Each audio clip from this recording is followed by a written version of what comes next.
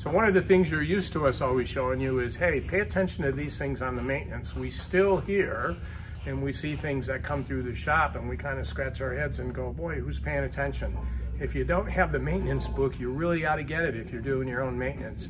As an example, let me show you a couple things here we found on two airplanes just this week that have come here for condition inspections.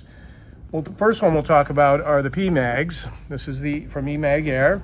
Okay, there's a service bulletin out there. You're supposed to check these annually for axial play.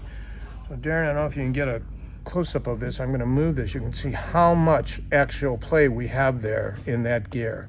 That is really, really a problem. So uh, you don't wanna just check timing on these things annually. You wanna pull them out and check for that. So in this case, we're gonna send this back to eMag Air and they'll take care of that and send it back. It'll be like new. We have two of these on the same airplane. The first one was okay. You might get thinking, oh man, the other one's probably okay too. Check them both, okay? Then just remember when you put them back in, propeller goes at top dead center or two degrees after if you're having some heating problems and then blow into the tube and time it. The instructions are in the manual.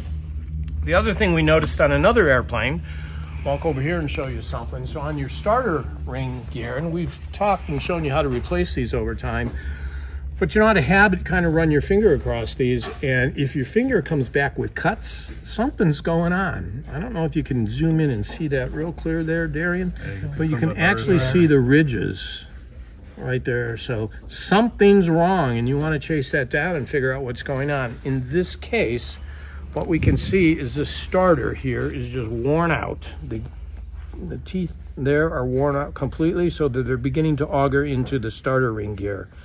So we got to replace this starter.